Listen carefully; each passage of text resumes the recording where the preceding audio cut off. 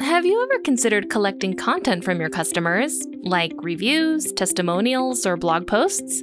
It might sound like a lot of work, but the benefits far outweigh the negative.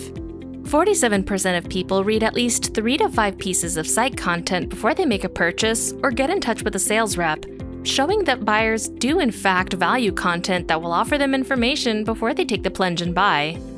Allowing users to submit content like reviews, blog posts, or testimonials to your site is a great way to not only establish you as an authority in your respective industry, but it can also add social proof that helps build trust between you and potential new customers, which in turn helps boost your conversions and sales in the process. There are a lot of different ways to allow users to submit and post content onto your site, but nothing is better than the Post Submissions add-on by WPForms. The Post Submissions add-on allows your users to submit all kinds of content like blog posts, testimonials, and more on your WordPress site, and have it appear on the front end without needing to log in to the admin dashboard. Once inside the form builder, you'll be able to access the Post Submissions tab, where you can configure how exactly you'd like to collect post submissions from your users.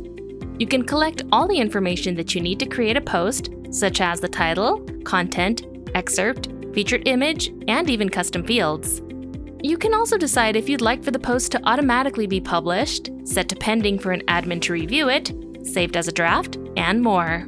There's even options to select between post types and the default post author.